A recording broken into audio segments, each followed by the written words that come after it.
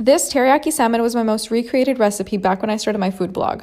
Start by adding all the ingredients you see on the screen. Then I make a starch slurry. You can use any starch you like. Mix it all up and then add it to your teriyaki marinade.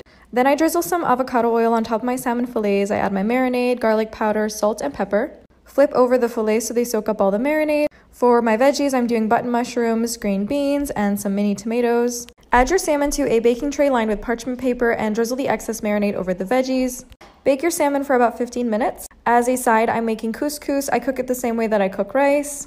All the details will be on my Instagram. When your salmon is finished, make sure you pour that glaze right back on top. Enjoy.